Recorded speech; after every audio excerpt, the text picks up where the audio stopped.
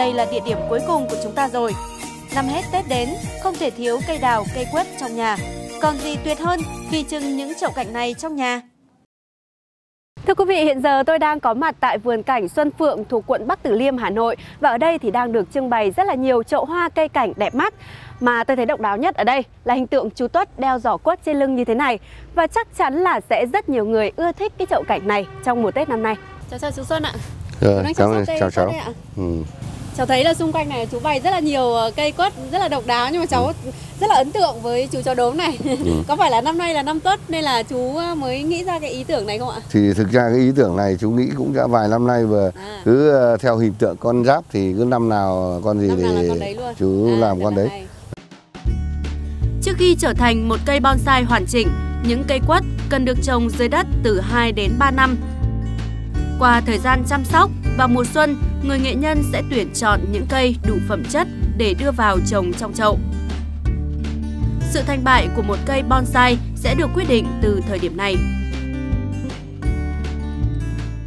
Đến bây giờ mà bảo bảo đánh một cây quất mà ở ngoài đất để đưa vào như trong này để để tạo lên thì không làm được phải đưa vào từ đầu năm vì lúc ấy cây cái nhỏ và cái bầu lúc ấy mình có thể gọt nhỏ để đưa vào cái cái giỏ nó nhỏ như thế này thì mình đưa vào thì mới được khi đã có một cây quất khỏe mạnh người trồng bắt tay vào uốn nắn và tạo thế cho cây theo mong muốn. Công việc này đòi hỏi kỹ thuật rất cao và phụ thuộc vào quan điểm nghệ thuật của mỗi nhà vườn.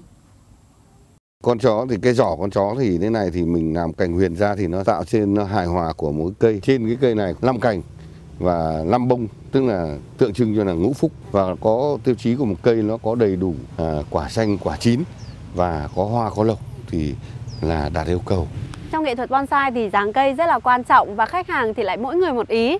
Vậy chú làm thế nào để có thể dung hòa được tất cả những ý kiến của khách hàng đó để có thể chiều lòng họ ạ? tức là tôi cũng sẽ làm nhiều các cái, cái cỡ cây loại cây chủng loại chẳng hạn như là các cái loại to cũng có loại nhỏ cũng có và loại ờ, trên bình cũng có trên lọ có cho chó cũng có và cũng như ở trên ấm trên nước thì nó rất là đa dạng để phục vụ thị yếu của tất cả mọi người.